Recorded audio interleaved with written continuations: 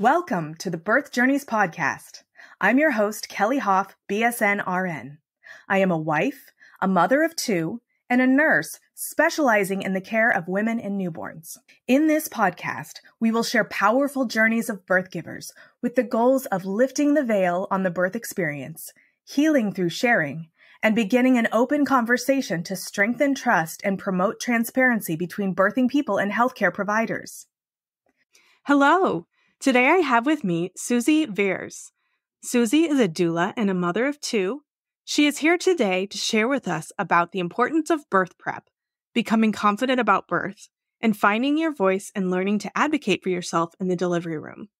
Suzzie also has insight on how to find insurance coverage for doula care after recent legislation has been passed to allow birth support.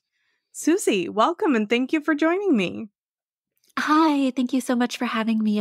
I'm really excited to hear about all your insight because birth prep is one of my passions. I would love to hear about your take on birth prep and how you came to be a birth doula and how we can all have doulas at the bedside. Well, I came here in not a straight or linear fashion at all. I started my career, I studied economics, I worked in finance. My experiences becoming a mother was not necessarily an easy route. I experienced loss at 14 weeks with my first pregnancy, a year's worth of medical complications due to that. And then my pregnancy with my first daughter, but second pregnancy mm-hmm. was like so easy, so great in comparison to what I had been through.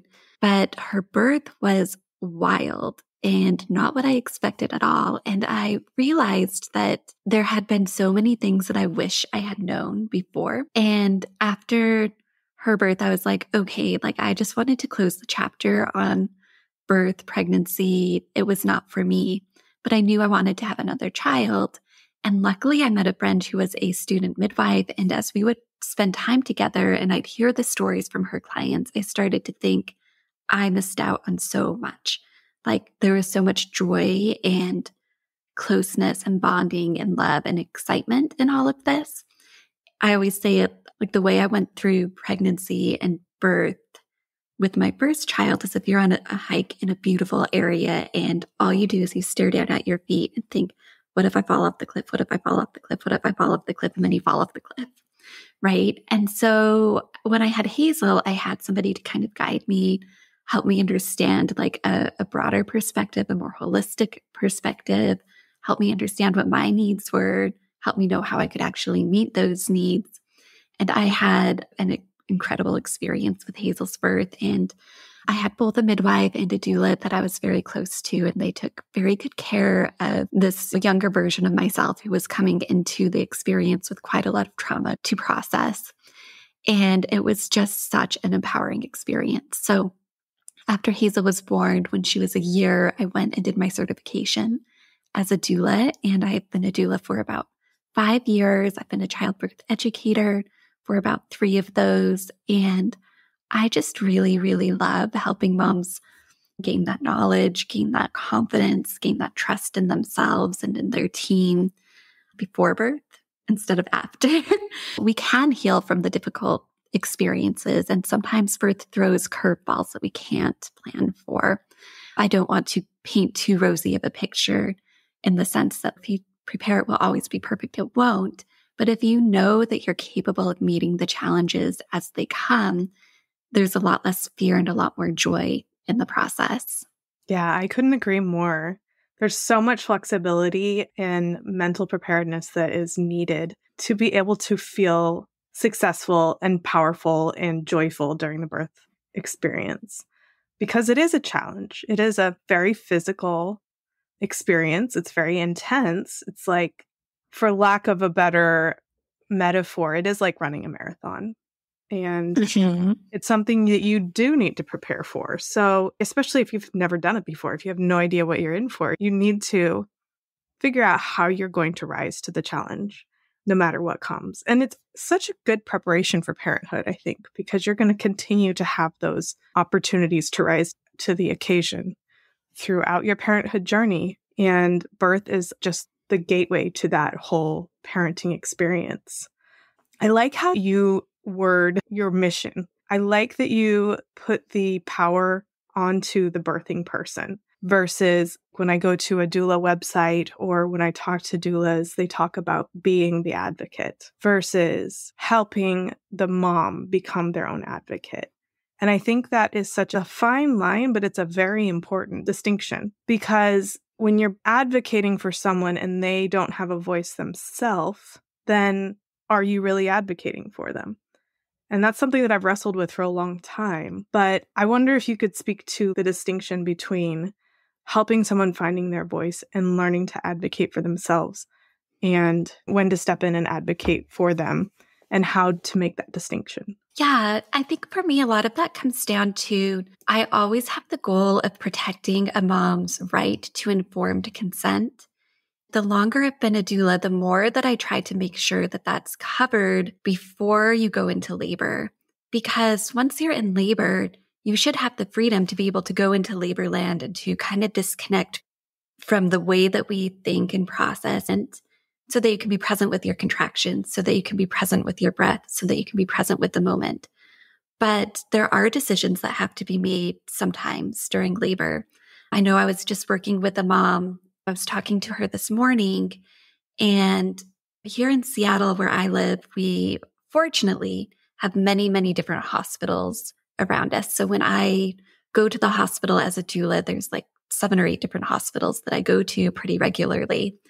This mom is at a hospital where the C section rate for first time low risk moms is close to 40%. I know it's a very high number. I was trying to get people to drive the extra 20 minutes because there's a hospital where that number is like 20%. But the care that is common there is very much like your labor is not going to work. Let me help you. Mm. Let me fix it. Right. Yeah. And so it's like, let's intervene early. Let's intervene before there's a problem. Let's induce everybody. Let's use as much Pitocin as we can. And if there's fetal distress, well, it's just labor is so unpredictable. Good thing you were here. And it's this weird cycle. Medical help is so important in some cases but some of the drugs commonly used in labor, mm. um, like misoprostol, also goes by Cytotec. It's not even FDA approved to use in labor. It's mm-hmm. FDA approved to use in stomach ulcers, and it says on the label, not approved for labor. No mm-hmm. safety data has ever been given on this. Mm-hmm. And Pitocin is on this high risk list of only six drugs for drugs that can cause harm to a mother and baby, even when used correctly. And so, with my clients, I try to help them think through like, okay, what does an ideal birth look like to you if everything goes perfectly? Like you don't have any medical complications. You're just sailing through this experience. What does that look like? And we create that vision.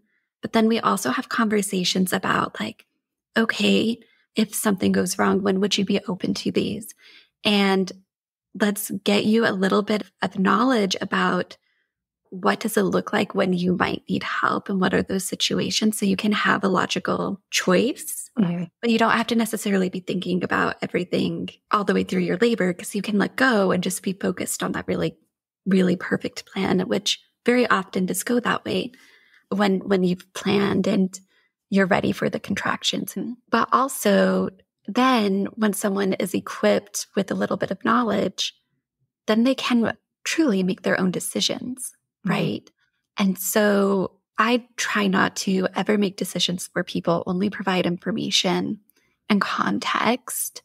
And then when a person has made their decision, I let them state their decision. And then if they're getting pushback, I'll typically come in and support their voice. For example, sometimes when water breaks, moms are like, I'm open to doing an induction, but I want to wait 12 or 24 hours before I start medication mm-hmm. knowing that most women will start labor on their own by then.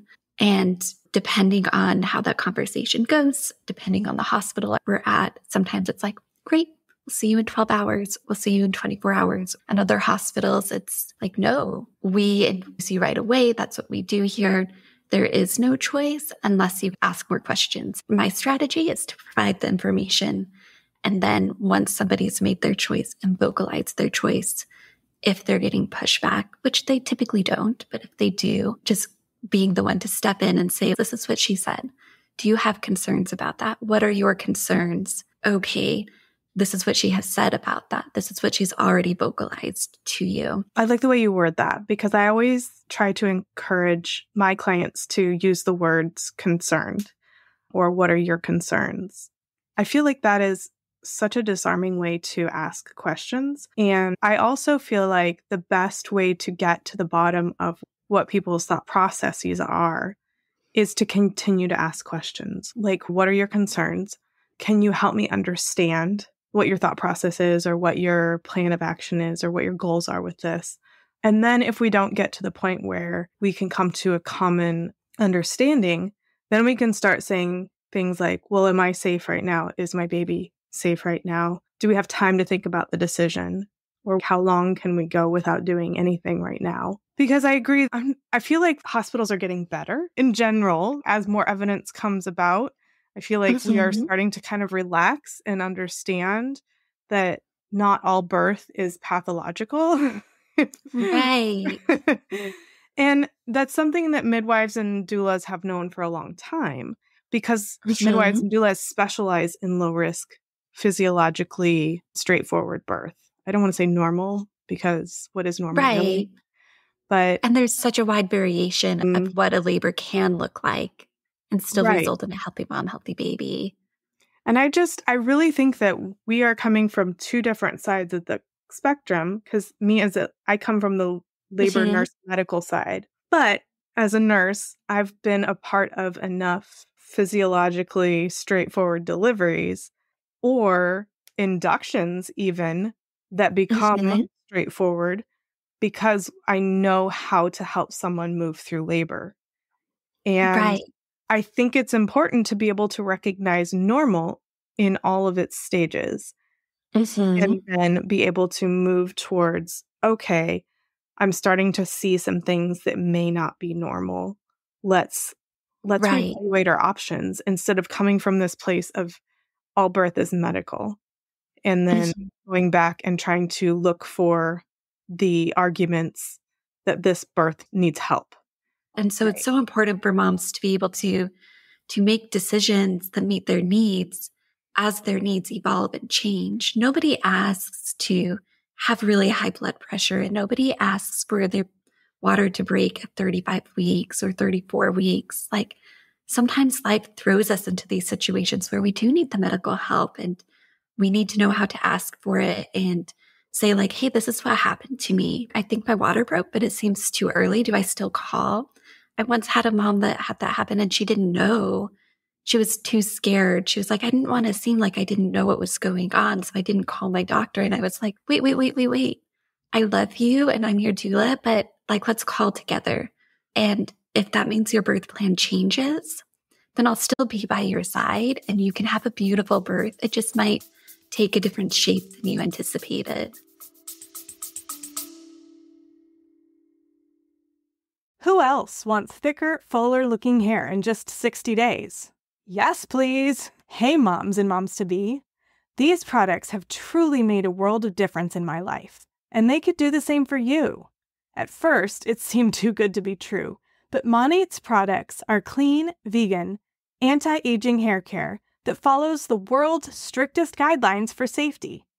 Did you know that the European Union has banned or restricted more than 1,300 chemicals, while the US has only banned 11? I'm passionate about finding effective products that help mamas feel safe, and these products fit the bill perfectly. If you're navigating those postpartum hair changes or just want to improve your scalp health, I have the perfect solution for you. Monat's IR Clinical line has been a game changer for me. Let me tell you, the results are incredible. The viral hair serum has significantly improved my hair density and thickness.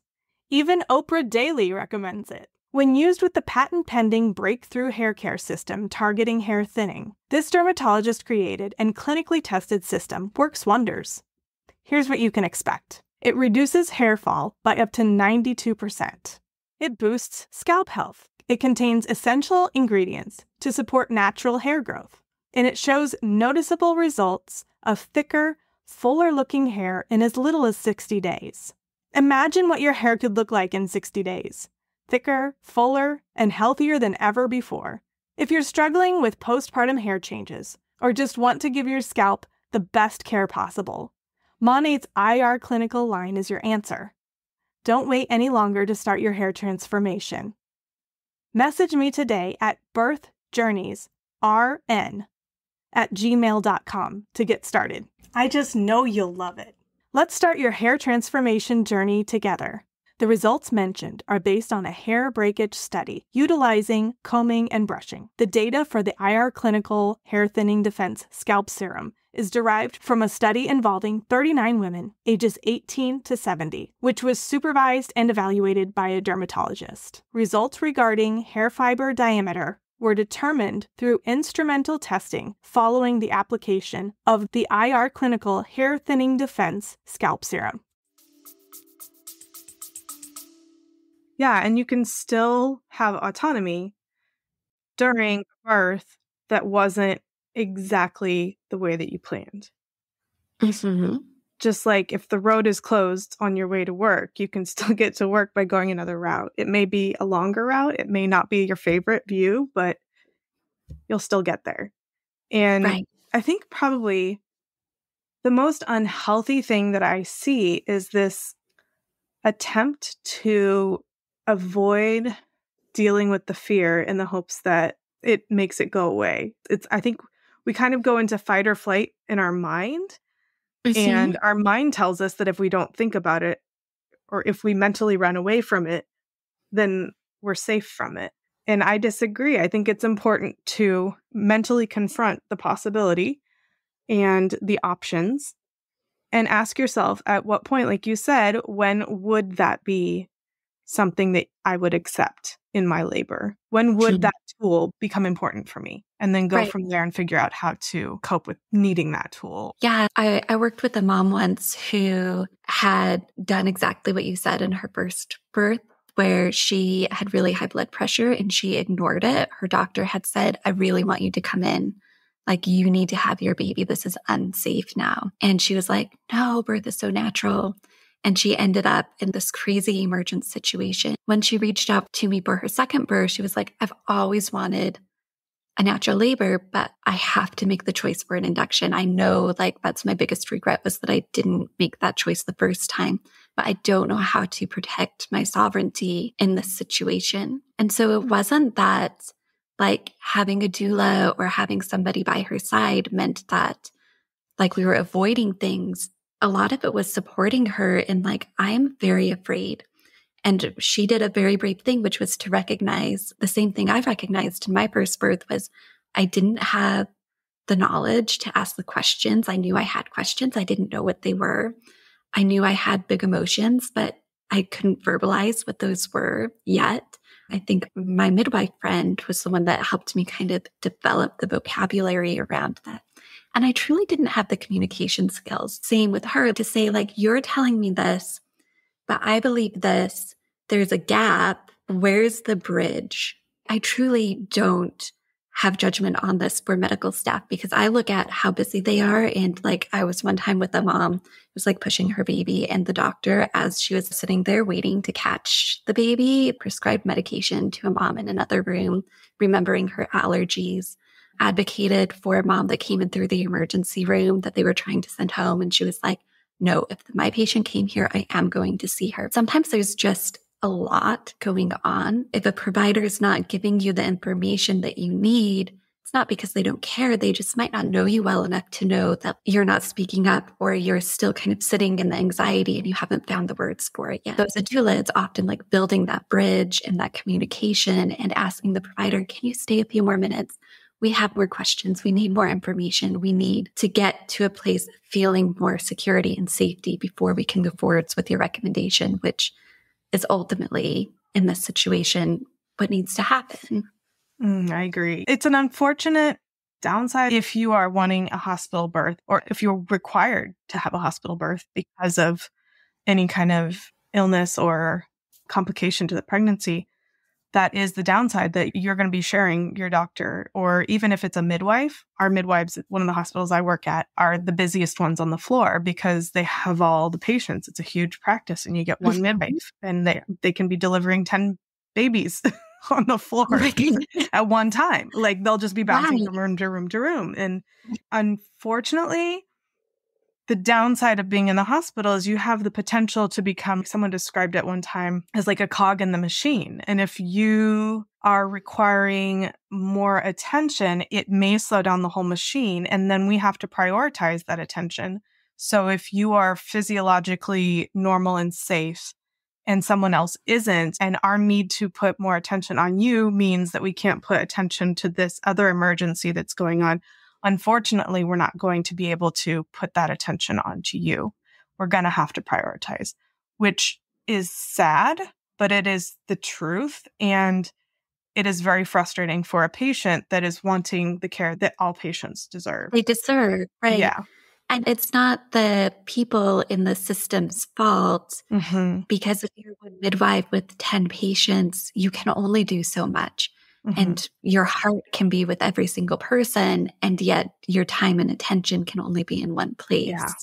something that I encounter, and I'm starting to notice a shift, or maybe I'm just trying to find the birth workers who have already made this shift. I notice more doulas that are becoming more comfortable with the realities of hospital birth. And I'm seeing less of what I used to see in what I guess gave the conflict we all know can exist between hospital and doula was this everybody in their own corner situation, right? So the medical aspect of birth and the natural aspect of birth, and everybody is just trying to fight their own logic. But now what I'm seeing is a lot more ability for the doula to support someone through a birth given the resources that are in the hospital or given the obstacles that are in the hospital, right? So if you were having a home birth, for instance, you are less likely to be monitored continuously. In fact, you probably can't be mon- monitored continuously, right? Right. I mean, a midwife can sit there and like listen with the Doppler. And I have seen that at home births where it's like, I need to pay extra attention, but it's not going to be like the continuous, We're like, I wasn't sure what I heard. I need to listen in the like two contractions in a row, but it's still not like wearing the monitors. You know, you go for a walk and they fall on your foot. Yeah. And so then you stop walking. Yeah. yeah. There's a give and take. And it would be lovely if the midwives could do the monitoring for one or two contractions on everyone. But once you start, like you said, the Cytotec, we have to monitor because we don't know how the baby's going to react. The Pitocin, we have to Mhm. monitor because we don't know how the babies react. We're moving away, in at least the hospitals that I'm working at, and the guidelines from ACOG and AWHONN and all of the governing bodies are now saying that we can do the the pre-induction with intermittent monitoring because it's safe and because moms have pushed back because they mm. don't want to be unnecessarily monitored. But how do we work with when we're in a hospital having a natural, physiologically mm-hmm. straightforward birth and still having to have the IV port not necessarily hooked up or having the intermittent monitoring and all of that stuff? I feel like it takes a special skill set from a doula to be able to support a mom through a hospital birth versus through a home birth. If there were new people starting out that wanted to be doulas, what would you tell them about how to support somebody through that? Yeah, I don't know if my answers are perfect, but I can share what I do. Most of my births are in the hospital. I had a home birth. I loved my home birth. I occasionally go to home births, super special experiences when they go while super easy comparatively to being in the hospital. Like sometimes I'm like, oh, I'm just a photographer. It's a completely different feeling. But for me, for all my clients, home birth, hospital births, what I do is before labor, we meet twice. And the first time we're very focused on the birth plan. And we go through a checklist of every single thing that's going to happen or every choice that they have. So we will talk through, okay, when you're dilating, when you're pushing and in the golden hour. And that's our chance to talk about like, okay, when we get to the hospital, this is what's going to happen in triage. You're going to get an IV. You're going to typically get a cervical check. You're going to be monitored continuously, at least for the first 15 minutes to a half hour. That is part of triage. And now let's talk about what your needs are, knowing that this is what it is. Sometimes I've worked with a few moms that have been victims of sexual assault who are like, I am very worried about that cervical check. I cannot do it. And so it's at that point before they're in labor where we're saying, okay, a cervical check is part of triage. Now we need to come up with a plan. And I have on occasion asked people, have you talked to your doctor about your abuse? Do they know that this is more triggering to you than someone else? And their doctors have noted we will not do a cervical check in their official medical documentation. So when we get to triage and we say we were hoping to delay the cervical check, and often there's an agreement here if all is going well, either until after an epidural or until starting to feel an urge to push or somewhere later in labor where uh, a lot of times clients can kind of have some choice about when it would be okay for them. And in having that choice, it makes it so that intervention isn't as difficult. Or after an epidural, it won't feel the same. It won't bring them the same trauma. And same with the IV port. We talk about how do you do with needles? What are the things that go through your minds? What do you do when you're in stressful situations? How can I help you through this? Is it going to be distracting you? Do you need to know everything that's going on? A lot of hospitals have like special IV teams that can come in with a little ultrasound machine and that can get it right on the first time. Is there something that we can do to make this easier for you? And so sometimes the conversation isn't necessarily, you know, a lot of home births moms are opting out of a lot of things, and that's fine. I want to opt out as much as I can but I can't opt out of everything either because of the location they're at or because the the life situation that their pregnancy and birth is happening within. And in those cases, when we talk about it before and we've gone through literally everything from start to finish, then it's like this weight off of their shoulders. And then they can get practice talking with their doctor about it. Sometimes I will go with them in very special cases and have that conversation with them and say, like, we're trying to meet you halfway. These are her needs. How can you help us?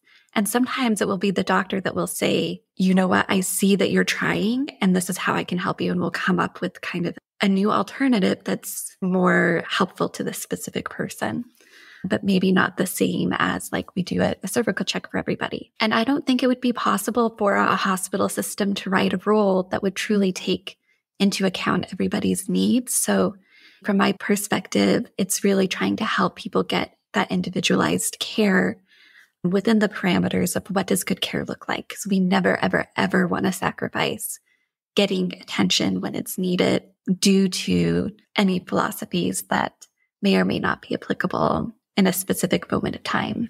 I think that's a really good point that it isn't possible that all the rules that hospitals come up with are essentially to keep people safe, maintain lower liability, right? We need to have standardized care so that we know that we've got evidence behind what we're doing, but also hospitals are attempting to have patient centered care. So, how do those two things come together? That's a difficult job, especially if you're working in the hospital and taking care yeah. of multiple patients. And so, we need people that understand how to help with patient centered care, that also understand how hospitals work and how to work within the confines of what hospitals can offer. Because we can't necessarily offer a home birth environment, or even some can't offer the birth center environment, just given the infrastructure. There are more and more hospitals that are getting on board with that. But how often are old hospitals upgrading to new buildings, probably not more than every 20, 30 years. So we're going to be a little behind the times. There's so much that you have to consider cost wise, you know, there's not as much real estate in some areas. And so then you have space that you have limitations. And so when you go to a hospital where there's going to be multiple people birthing on one floor, there's going to be limits to what they can offer. We would want to mm-hmm. offer a birth pool to everyone. We want to offer an environment that looks like your home to everyone we would love to offer one nurse, one midwife, one doctor, one doula to each patient.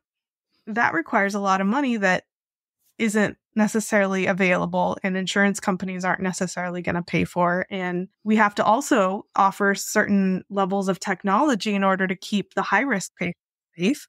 It's a totally different animal than someone that's giving birth at home because they are physiologically healthy and their pregnancy is 100% low risk. And so far, we have not seen any kind of indication that we're going anywhere towards medium to high risk. It's completely right. different. And I think it's so important to have an understanding of what that means and how to help have the birth that someone wants given those confines. And as nurses, to make that happen, we are trained about like the medical and the physiological aspects of birth and then what to do mm-hmm. when things are medicalized. We are taught how to handle a postpartum hemorrhage. We're taught how to help resuscitate a baby. We're taught the emergency situations, and that is what is emphasized. And that is so critically important. It is. And so then to be able to support the people that are there for the emergencies, because we need all hands on deck, to have that support person that that knows how to work around all of the hospital equipment without necessarily messing it up or right. knows that their job isn't to interfere with the hospital equipment but work around it that's super mm-hmm. important and i love that there are programs out there to help dads or partners. Mm-hmm. And also, they are not an expert in supporting somebody through low risk birth, right? And to have somebody that is trained in supporting someone in low risk birth at the bedside is amazing. And I wish that hospitals would employ more doulas so that we could have somebody at the bedside all the time. And so that there is less conflict when we do have somebody coming in from the outside that may not know how our hospital system works and so right. you would have to like go research each hospital. And I think it's so important. You have a perspective that I haven't had a chance to look into, and that is how to get a doula through insurance. I think one of the biggest barriers to getting doula care is that birth can be so expensive for people, even if you have adequate insurance coverage. There's a lot of money that goes into birth. And so to have that extra cost of a doula is sometimes a little bit of a, a challenge for some couples, especially when you're considering how much money you're going to be putting forth for a baby, all of that stuff. So now that there is the option, at least the Medicaid option, are all insurance companies now getting on board with doula care? Yeah, so that's a fabulous question. And I completely agree with you because when I think back to my own pregnancies and births, there is no way I remember I remember very clearly one day when I was sitting at my office, I worked at an investment bank at the time. Later, I became a stay at home mom and the gap between my kids. And so we were much more financially strapped before my second one. But like, I remember having a conversation with, with me, and there were two other people on my team, and their wives were pregnant. And my friend Travis was like, We just got a doula, we're taking these classes. And they were kind of like super into all the natural things. And when I heard how much it cost, I like almost died. And I was like, there is no way I would ever pay that for any of this. So I do find it a little bit ironic that like that was my first thought when it came to doulas and my first exposure was like, why would anyone pay for something that expensive? Not every insurance company covers doulas. Hopefully that will change. I hope it becomes much more accessible. And not every state covers it in their Medicaid programs. It is something that's been ongoing where more and more states, there's a handful of states that are currently reimbursing doula care coverage. There is a handful of states like mine where it has been approved by the legislature to cover doula coverages, but the programs are being built out. And then there are states where it's being considered, and there's states where it's not even being talked about at all. So it really does depend on where you live. There's also a lot of employers that are offering reimbursement programs for wow. doulas. I know in my area, like Boeing just added a program through oh, their HR, wow. Microsoft, there's a handful of companies here. So if you're unsure about can you get help paying for a doula, call your HR if you work for a larger company and find out. Um, some people are surprised when they found out, like, oh, my company does pay for a doula. I just have to submit a form and then I get reimbursed. Should we go over like the states that are actively? Yeah. Do you want to know? Yeah, I think that would Okay. be helpful because I think a lot of people just don't know. And I think that a lot of people would look for those options if they knew they were available. Hey there, incredible mamas and mamas to be. Are you looking for an online community where the magic of motherhood meets the empowerment of self care? Then I've got just the place for you. Join my Bump and Beyond online community. At Bump and Beyond, we celebrate the journey of every bump rocker and post birth boss. You, dear mama, deserve nothing but the best, and that's exactly what this community provides. Prepare to be pampered, cherished, and showered with all the love and support you deserve.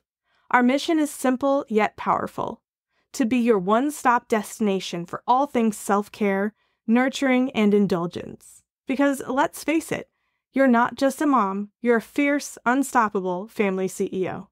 At Bump and Beyond, I search the nation for mamas who are passionate about helping other mamas like you become the most successful version of yourself during your motherhood journey.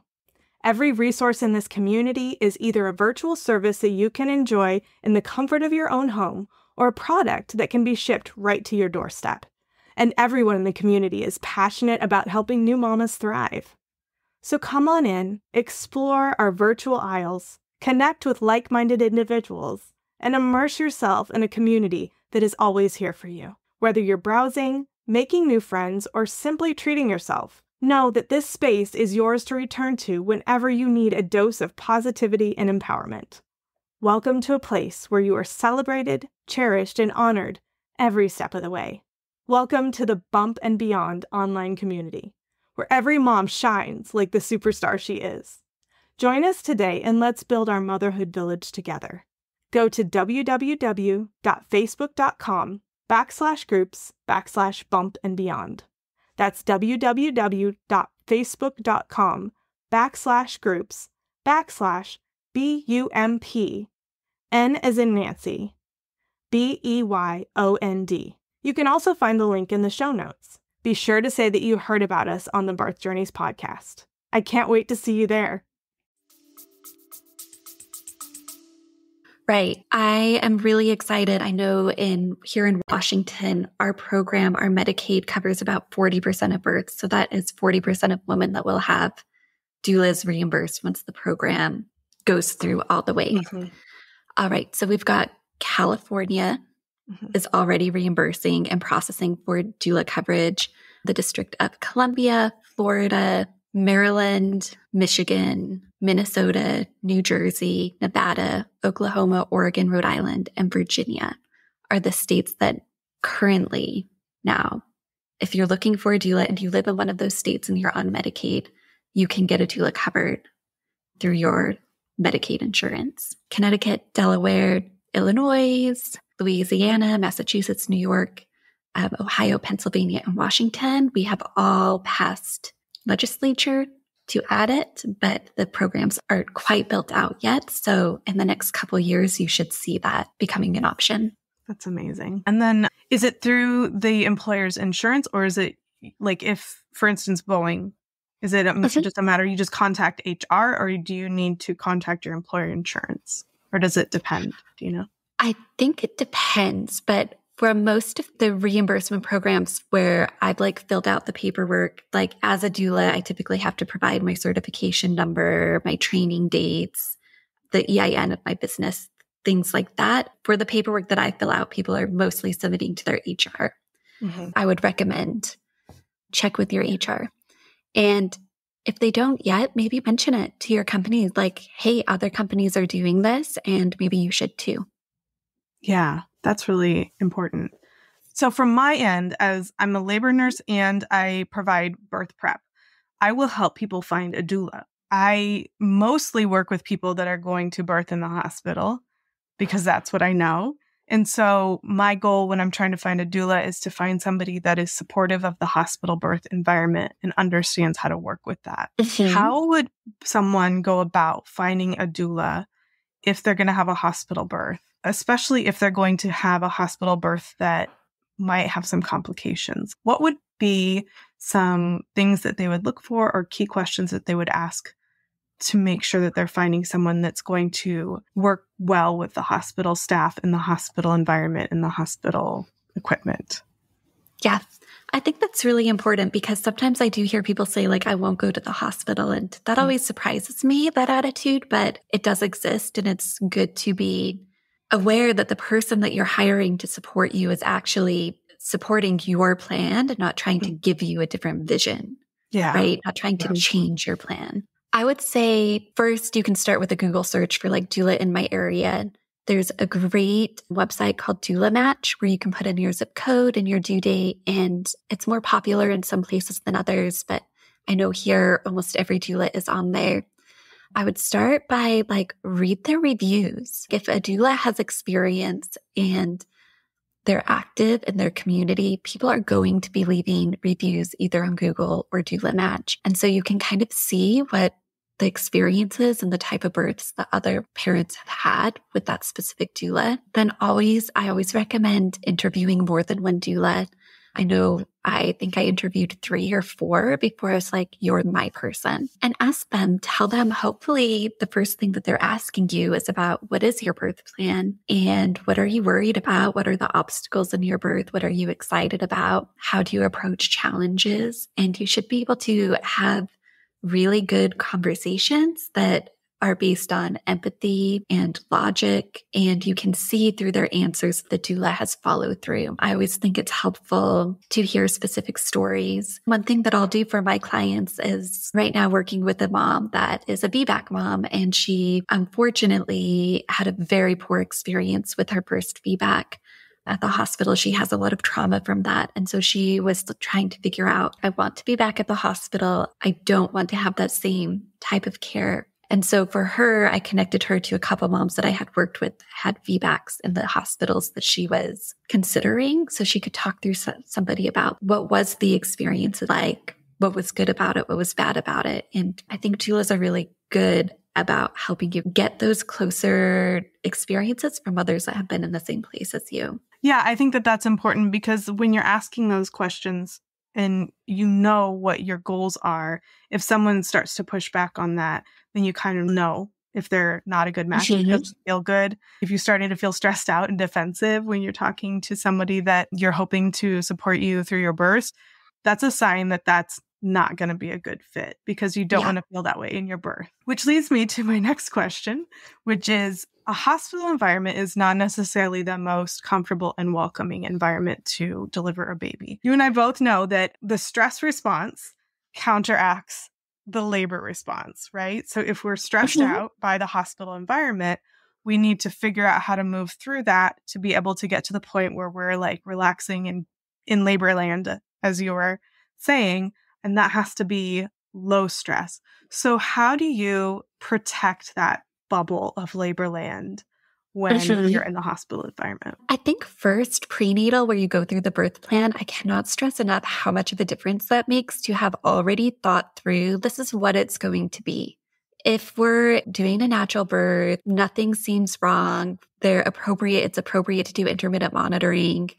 Labor happens at night all the time then yes, bring some little light up candles that are battery operated. Turn on music that you love turn on a diffuser if it's okay with your nurse. Some people are very sensitive, so mm-hmm. we want to be aware of that. Mm-hmm. One of the things I love about hypnobirthing is all the visualizations. If you've never heard of that, that mm-hmm. method of birth prep is it's a lot of meditation and affirmations and a lot of visualization. And if you have put a little bit of effort and energy and thought into picturing a very joyful birth in a busy location, you can be in the busiest location ever and it can still feel slow and peaceful and open. And I think a lot of that energy is what we bring to it mm-hmm. because you can be in a very busy hospital environment and still have it feel not that different from being at home in your bedroom. You have to have talked about your fears of the hospital if you carry those fears, maybe done a little fear release around that. Turning down the beeping on the monitors helps, asking your nurse to help you with that actually, because nobody should touch the monitors but the nurses. but really, the energy that you bring is the energy that will be in the room. And so if you've practiced and thought through and planned for how am I going to bring joy and what am I going to do in those moments of doubt and fear, it's very much like a carousel ride. It's normal to feel great and then have doubt and worry and not be sure if you can do it and then come back up to feeling like, oh, you know what? I can do this. This is good. I am in the right place. I do like it here. The very simple things and then the intention that you bring. Mm-hmm. I think I thought of one other thing that came up for me. How can nurses support a natural birth? Or maybe the best way to word it is how can nurses avoid interfering with a natural birth? Because of all of the stuff that we have to check off our list. I think most of the things are pretty simple. I so appreciate nurses that know how to do intermittent monitoring. Learning that skill, I so, so appreciated. I know you have a million intake questions that you have to get through, and it's not really an option. But if you can find those gaps in between contractions or let a mom get into the birth tub and ask her between contractions while she's already in the tub. I can run the tub while you're doing the initial checking the blood pressure and doing all that kind of stuff. And first, let's make sure the pain control is staying managed. And second, then the questions. And third, just know that one thing that I have moms tell me a lot for their second babies, if they're reaching out to me, like, oh, I tried a natural birth and it didn't work. So now I want a doula for my second one to help, is that a lot of people will say, my nurse only offered me an epidural and what I needed was encouragement. Hmm. So I think, like, if someone has a natural birth plan, you can ask questions like, do you want me to offer you an epidural if as your labor is progressing? And if her answer is no, then just trust that she will ask for one if she needs it. And you can say things like, You are so strong. I've never seen anyone so beautiful during a contraction. Your connection with your breath is really powerful. Do you want to do it now or in three contractions? Sometimes just having a very short amount of time before having an IV placed or doing something like that that needs to get done helps the mom kind of get into the mental space of I'm leaving labor land. I'm coming to do what you need. And then I'm going back to labor land. Mm-hmm. I appreciate our nurses so much, though. You carry so much on your plate. And when I watch all the charting, my mind is always just in awe of the hundreds of things that you seem to be doing while I'm doing a simple hip squeeze. it's not fun trying to not bother someone and then get all that other stuff. No, it's, it's yeah. sometimes it's needed though. I mean, mm-hmm. it's how you keep not just one person safe, but everybody safe in the mm-hmm. hundreds and thousands of different scenarios that can happen during birth. Yeah. Was there anything else that you wanted to talk about that we didn't cover? I just want to say to moms, you are all so powerful. And I hope that as you go through the birth process that it is really empowering to you. Like somebody who graduates from college or finishes a marathon or accomplishes anything worthwhile, as you go through the process, you see your commitment, your growth, your change, and you're not defined by the low moments. You're defined by the, the victory that is yours, no matter how you came through the experience, the joy that is yours. Yeah, that's so important. It is a transformation. And no matter how it looks, you'll be a completely different person afterwards. When you prepare for that, it will be a beautiful transformation. Yeah. Well, thank you so much. I really appreciate all your insight. Thank you. I so appreciate it. It's nice to be able to talk from the different perspectives of nurse and doulas. I feel like we should always be like BFFs. So we totally should. Yeah. Yeah. Let's start a nurse doula BFF club. yes, please. How would anybody contact you if they wanted to hire you as a doula or get your insights or learn from you? Oh, yeah. My website is shebirthsbravely.com we have a fun quiz that's um, what does your birth plan say about your personality? It kind of goes into like based on your answers, like here's some of your strengths, here's some of the things to think about, and here's what makes you an amazing mom. It's fun. If you go to shebirthsbravely.com, you can sign up for free consultation for doula services. And then within my childbirth class, every mom that comes through my childbirth class gets two prenatals where we'll do that birth plan checklist that we talked about. And then I have you go take it to your doctor. And then we come back because most people have more questions about that. after they do that. So, and that's just part of the birth class as well, which is also just at shebirthsbravely.com. Amazing. Well, thank you so much for joining me and for all your insight. And I really appreciate the opportunity to talk to you. Thank you so much for having me. Thank you so much for tuning into my podcast. If you enjoyed what you heard, make sure you hit that subscribe button so you don't miss out on future episodes. Don't forget to share the podcast with a friend who can benefit from the valuable insights that we share here. And if you could take a moment to leave a five star rating and review, it would mean the world to me. If you're ready to work one on one with me to embark on a transformational journey towards a confident and empowered hospital birth experience, go to kellyhof.com backslash empowered and enroll in my Empowered Hospital Birth Coaching Program. Together, we'll create a roadmap to a birth experience that you'll cherish forever. That's K E L L Y H O F dot com backslash empowered. Let's make your birth experience extraordinary.